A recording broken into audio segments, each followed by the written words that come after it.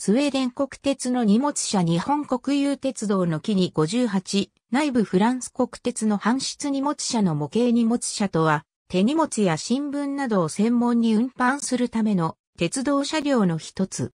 日本では新聞輸送などの鉄道小荷物運送に用いられ、車両称号は荷物の2が付けられる。英語ではバッケージカーもしくはラゲージバンと呼称され、ヨーロッパ大陸の車両は国際鉄道連合の規則で車両称号に D が付けられることが多い。イギリスや英連邦ではパッセルズファンとも呼称される。車両側面には荷物を積み下ろしをするため、旅客車両に比べて幅が広いドアが設置されていることが多い。旅客車両や機関車の一部に荷物室が備わっているものも存在し、このような搬出荷物車では小型のドアやシャッターのみが設置されていることがある。また、荷物の積み下ろし時や大量の荷物を積み込んだ際に誤って窓ガラスを破らないように多くの車両では鉄格子で窓を保護している。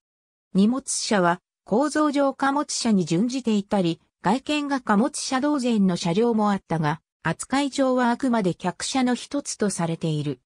これは荷物列車が旅客列車であり、元を正せば荷物車が旅客の手荷物を輸送するものとして旅客列車へ連結される形で運行され、始めたという歴史的経緯による。そのため、大抵は旅客列車に連結して運行されていた。また、主要な幹線では荷物車のみで編成された荷物専用列車も存在する。鉄道荷物輸送の縮小と合理化によって荷物車が廃車されたり、旅客車両に荷物室が設けられたりすることや、牽引車や救援車などの事業用に転用されていることも起こっている。小規模の荷物輸送が行われている路線では、旅客車両の一角に荷物を置く場合が多い。このような用途に適するよう、旅客車両では室内に仕切りカーテンなどを設置することがあるが、これは便宜的措置であり、荷物車に含めないのが一般的である。21世紀になって日本ではトラックドライバー不足の対策として、旅客車両の一角に宅配便の荷物を置いて、輸送する貨客混載が行われるようになったものの、これも荷物車には含まれない。郵便のみを扱うものは、郵便車という。荷物輸送量の少ない線区向けには、旅客車や郵便車との合わせ作り車も見られた。日本国有鉄道のマニ36-2008、日本における競技の荷物客車は、陳腐化した旅客用客車を改造したものが多い。このため、日本国有鉄道では、昭和50年代に入ると旅客車の陳腐化がひどく、50系客車で久々の心臓荷物車が登場したが、一般の小荷物輸送の廃止で、申請後わずか10年足らずで廃車になった。また、ブルートレイン用とした20系、客車、24系客車では、電源車の一部を荷物室とした。そのため、荷物輸送が廃止ないしはない場合でもそのまま連結せざるを得なかった。しかし、昭和50年代には20系客車を急行格下げ運用として改造した電源車化や21型を使用した際や、新聞輸送のために、あえて荷物車を別に連結した事例もある。また、朝風、瀬戸で一時電源車を変更した際に一時的に荷物車を連結した事例がある。一般の小荷物輸送が廃止された後の JR 移行後に50系客車の一部や20系客車が車種記号2の荷物車扱いに変更されたことがある。このうち後者は鬼231としてオリエント急行88運行に際してハイビジョン展示車兼連結機アダプターとして座席を撤去したものである。また、前車には連結機アダプターを兼ねた運行用の事業者として一両連結を行ったものもあるが、大多数はアメリカントレインの展示用パビリオン車として使用された。日本国有鉄道の雲に13型単独の荷物、専用車のほか、荷物、郵便車、あるいは客室と荷物室さらに郵便室の合わせ、作り車もあった。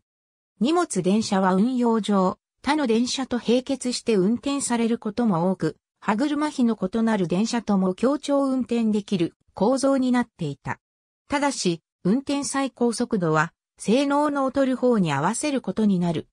日本では JR 西日本281系電車の荷物室付き車両が最後に新規製造された荷物合わせ作り電車であった。JR 西日本223系電車の荷物室付き車両は最後に改造された荷物合わせ作り電車であったが、この荷物室は1999年に廃止され、全室客室に復元された。281系でも後に廃止されたがこちらは荷物室の構造を現在も残している。ただし、業務用室という名目での設置なので、2の記号をつけた車両は登場していない。日本において、鉄道小荷物制度の廃止後、一部が123、軽電車など旅客用に改造されている。国鉄の一般的な新性能電車が MM ユニット構造のため、最低2両からでないと編成が組めないのに対し、荷物電車は編成の一番前もしくは一番後ろに連結することになるという構造上から、両端に運転台を有しており、最低1両編成で動けるという利点を活かして、ローカル輸送用に改造されたものである。日本国有鉄道の木に56系機動車も、電車と同じく、単独の荷物専用車のほか、荷物、郵便車、あるいは客室と荷物室さらに郵便室の合わせ、作り車もあった。客室との合わせ作り車は短距離の小口輸送が主流であり、手荷物輸送の兼ね合いから申請された車両もあったが、運用上、特急型を除く他の液体式機動車と並結して運転されることもあり、他の液体式一般系機動車を改造したものが多く、特に全室荷物車と荷物、郵便車は運用上制約がある2.3統合作り車や戦闘車が非貫通である電気式機動車からの改造車などが多かった。非電化路線だけでなく、常磐線のような交流電化区間と直流電化区間を直通する列車にも使用された。これは、高直量用電車の申請は高価である上に、積載効率が悪く、隅田川駅構内に電化されていないホームがあったためである。日本において、鉄道小荷物制度の廃止後は、電車や客車と異なり、他の用途に転用されることもなく、JR 移行前までに全車廃車となっている。ありがとうございます。